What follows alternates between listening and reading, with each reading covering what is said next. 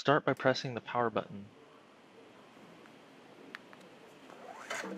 A white light will appear. If not, the speaker needs to be charged. Click the arrow to show all icons. Right-click the Bluetooth icon and click Add a device.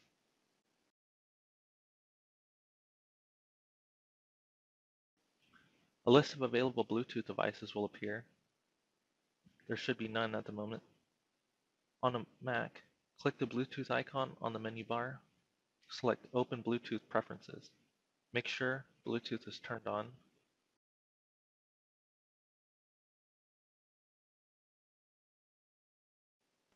Press and hold the Bluetooth button next to the power button on the speaker. Release the button when it makes a repeating sound. The device will then appear on the list of available Bluetooth devices. Click on the device and press the next button. The device will now begin the connection and configuration process. The speaker is now ready to be used. Now we will set it as the default audio output device. Right-click the audio icon and select Playback Devices. The device might not be named correctly, but it should be the one with Bluetooth capabilities. Click it and click Set as Default.